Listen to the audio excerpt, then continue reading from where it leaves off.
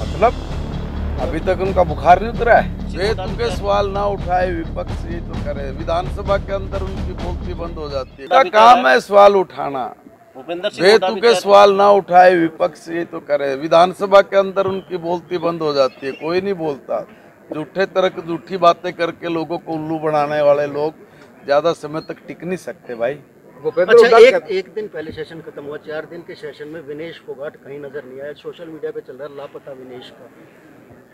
चले उनकी सोच अच्छा भूपेंद्र हुड्डा कहते हैं कि भारतीय जनता पार्टी की सरकार शाम धाम दंड भेद की नीति से बनी है।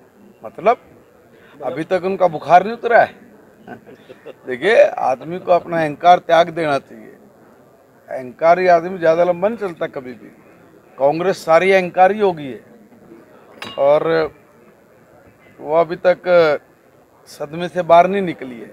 कांग्रेस पार्टी को जनता के सामने आके स्वीकार कर लेना चाहिए। जनता ने जो फैसला दिया है, जो मैंडेट दिया भारतीय जनता पार्टी को दिया है। और भारतीय जनता पार्टी ने इसको स्वीकार करके लोगों की सेवा करने के लिए अपना सब कुछ ईमानदारी से करने के निर्णय को फूल चढ़ाया। वो भी हार स्वीकार करें। वो भी लोगों के दिए गए जनमत का आ, मैं कहूँगा उसको स्वीकार करते हुए आगे बढ़ना चाहिए। मज़बूत एक मज़बूत विपक्ष की हमें भी आवश्यकता है।